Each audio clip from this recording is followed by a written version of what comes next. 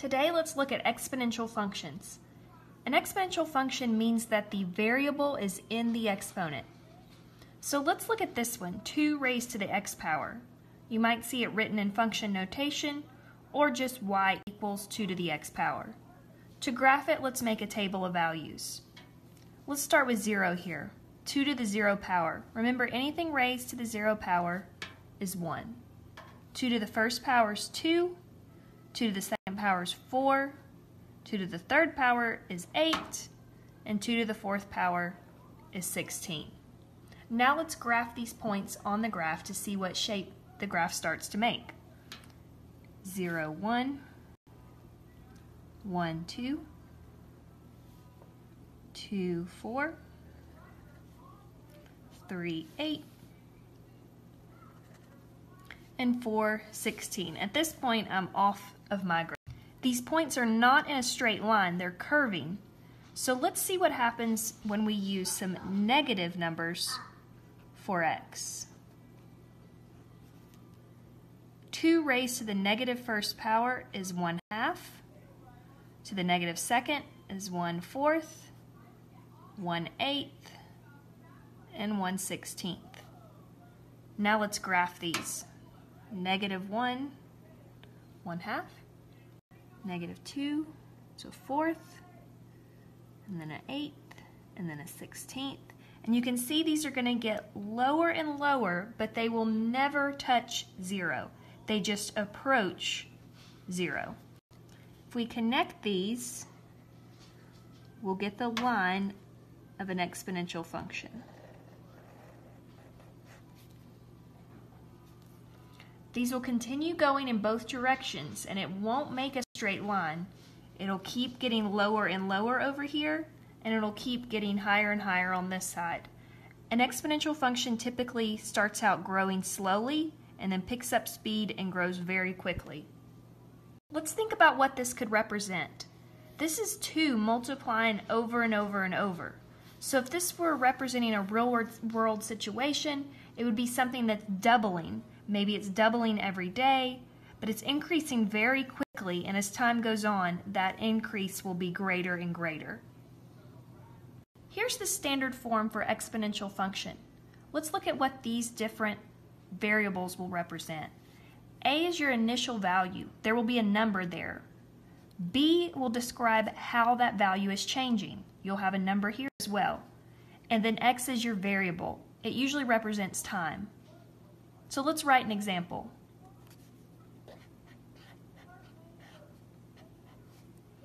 What if you invest an amount of money? Let's say you want to start out by investing $100 and you've been told that this investment will increase 20% every year.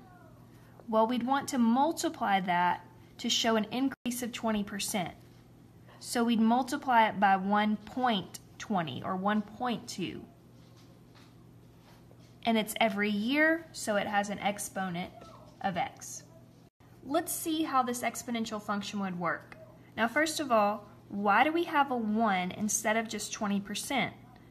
We need that 1 there so that you don't lose money. If we just multiply 100 by 20% or 0.2, it would show that you only have $20. We put the 1 here so we'll get a value of $120. That would represent what you still have, the 100, plus the increase every year. So let's make a table to see how this money would grow. Starting out, if we plug a zero in here, this would just become one, which would show our starting value of 100. The first year, we would multiply by 1.2 to show a new value of 120. The second year, we'd have 1.2 raised to the second power, then multiplied by 100.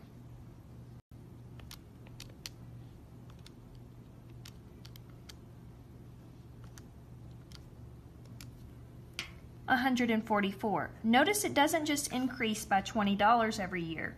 Because your investment is growing, you're going to gain that interest on what you've gotten the previous year.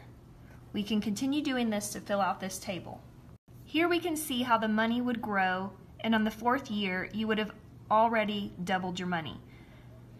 This is an example of compounding interest that is compounded each year. This is also an example of exponential growth. Anytime it is growth, this number will be greater than 1. Now let's look at how we can show exponential decay, or when an amount is decreasing. Let's say we have a deer population that starts out at 1,000, and it's decreasing by 5% every year. Here's our initial value of 1,000. Now we need to put a number here that would multiply to show a decrease of 5%. That would be 0.95. It's 5% taken away from the whole, so it's 95%. And it's raised to an exponent because that will give us 5% decrease each year. When we plug in 0, this whole value becomes 1, so we have our starting population of 1,000.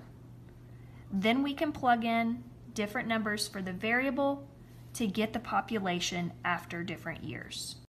Right here we can see how the population would change after 1, 2, and 3 years.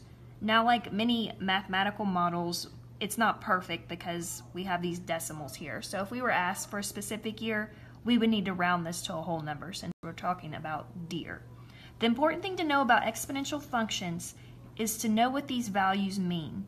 Can you set up an exponential function when you're given an initial value or a starting value, a percent increase or decrease, and then you just have your variable to represent your time. On a graphing calculator, I can go to y equals, and I can enter this equation, 1,000 times 0.95 raised to the x power. And then I want to be sure my window is set where I'll be able to see what's going on here. So I've changed it from 0 to 10 and from 0 to 1100. And then I hit graph. And this line is slightly curving and it'll keep decreasing if I were to expand this window. If I want to find an exact value, let's say we wanted to know the deer population in eight years, we can go to second, calculate. Number one is value, so we hit enter. And then we can plug in x equals 8. And it'll give us the exact value of deer in eight years.